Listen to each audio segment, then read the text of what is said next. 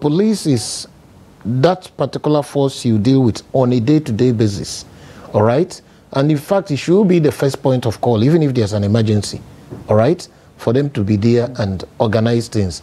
So because of that level of interaction, they have a very big opportunity, you know, to interface with citizens and then maybe because we have come to this level of corruption in the country, to demand gratification for either performing their duty or for threatening somebody so that you can get away from the consequences of violating the law or simply framing somebody up to extort money from the person. So we got here because the society is depreciating in terms of corruption.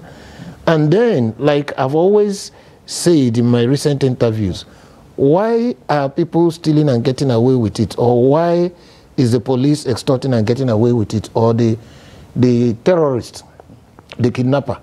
Is that we have misplaced the idea of the law. The elementary definition of the law, which I was taught in my first year in the university, is that law is the command of the sovereign, backed by sanctions. It's not moral adjuration. It is not a plea.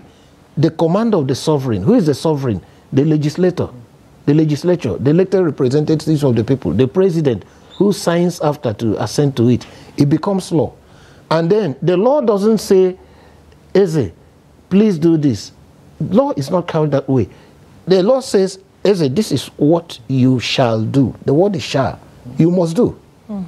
In the event you refuse to do that, here is your punishment. Mm. So once you decouple right conduct or proper conduct from the sanctions that you follow, then the law becomes a mere moral adjuration.